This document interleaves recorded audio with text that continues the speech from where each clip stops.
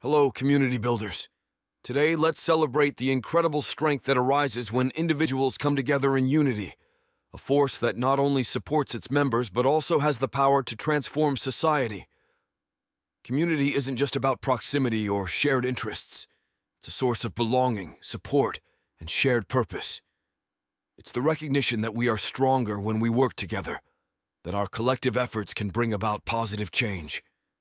Consider the way communities have shaped history, supported those in need, and fostered a sense of belonging and purpose.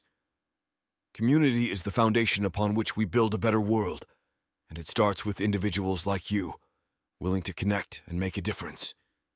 So, my fellow community builders, let's harness the strength of community.